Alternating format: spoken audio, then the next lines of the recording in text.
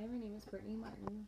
I just read an article on a 22 year old woman from Indiana who got in a car accident with her husband when he was driving. They were coming home from church and she was pregnant with their first child.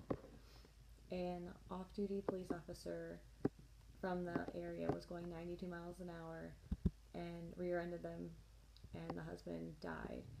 Uh, the mother and the baby survived, which is a good thing, but she tore her uterus, so the baby had to be removed by a cesarean section, an emergency cesarean section, and uh, she had a lot of issues, and the baby could not even be held for two weeks.